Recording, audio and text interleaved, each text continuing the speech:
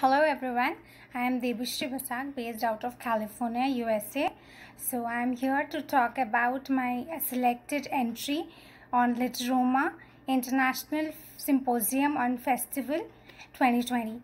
So I am extremely glad that my article has been selected for this esteemed platform and my article basically talks about uh, Durga Puja which is essentially the grandest festival of all Bengalis throughout the world. My article also talks about how Durga Puja had started in Calcutta and how it has evolved over the years, retaining its charisma and uniqueness. Uh, well, festival to me is all about uh, fun, merrymaking, and catching up with friends and extended family uh, along with good food and also having quality times with near and dear ones.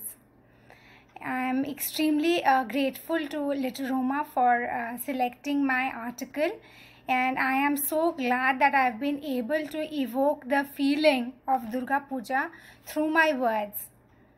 And in future, I would definitely uh, be willing to be associated with Literoma by participating in its uh, myriad of uh, contests which like helps us uh, hone our creative skills and also keeps our creative juices flowing. And finally i would like to uh, thank literoma and express my heartfelt gratitude uh, to this esteemed and exquisite platform for selecting my entry and i am very grateful for that. Thank you so much